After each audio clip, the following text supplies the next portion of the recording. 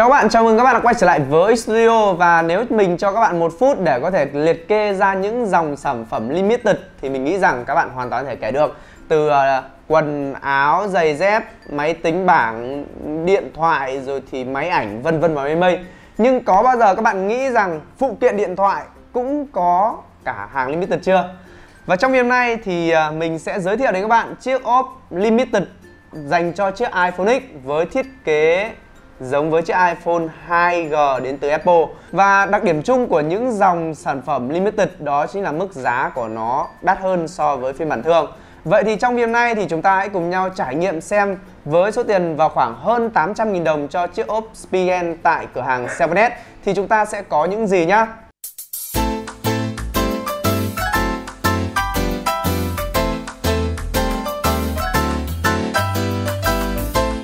Và đây chính là chiếc ốp mà Spigen sản xuất ra nhằm kỷ niệm 10 năm ra mắt thị trường của mình. Và cũng đồng với năm là kỷ niệm 10 năm dành cho iPhone nên là họ sẽ ra mắt chiếc iPhone X. À, nhưng mà hình lại giống kiểu iPhone 2G huyền thoại. Và ngay sau đây mình sẽ mở ra. Đấy. Và đây chính là nhân vật chính của chúng ta.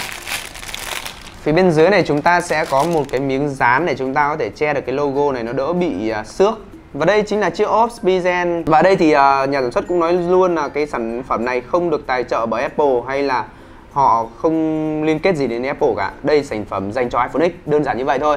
Và về phần thiết kế thì các bạn có thể thấy rằng khi chúng ta đeo chiếc ốp này vào ấy Thì nhìn chiếc iPhone X của chúng ta có phần nào đấy nó rất giống với chiếc iPhone 2G Với hai cái màu hoàn thiện đó chính là màu bạc ở phía trên và phần đen ở phía bên dưới. Và nếu các bạn nhìn kỹ vào cái phần phím bấm hay là các cái phần lỗ camera, lỗ logo quả táo hay là lỗ tăng giảm lượng này, thì các bạn có thể thấy rằng Speedgen làm rất tỉ mỉ và kỳ công. Phía phần bên dưới này thì sẽ được làm bằng cái giải nhựa TPU và nó vừa là góp phần bảo vệ thiết bị chúng ta. Với cách hoàn thiện như vậy thì nó sẽ góp phần bảo vệ thiết bị chúng ta, đồng thời thì sẽ đem đến cho chúng ta một cái mở, khả năng mở rất là dễ và với cái sản phẩm nó là là hàng limited thì cái cách à, cho vào cũng như là đút ra của nó cũng khác so với những cái phiên bản thường phiên bản này chúng ta để có thể thêm vào chúng ta sẽ phải thêm từ góc bên trái qua góc bên phải, xong rồi đặt vào, hạ xuống.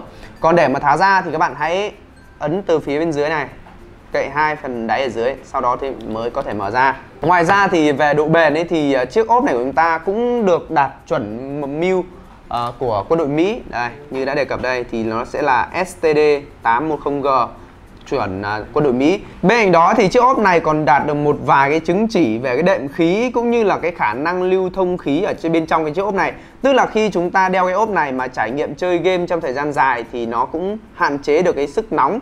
Khi mà cái ờ, chỗ này nó sẽ có một cái thông khí xuống dưới bên này. Đấy, nó sẽ đẩy không khí nóng ra ngoài cho chúng ta khiến cho chúng ta có trải nghiệm nó tuyệt vời hơn trên cái chiếc ốp này.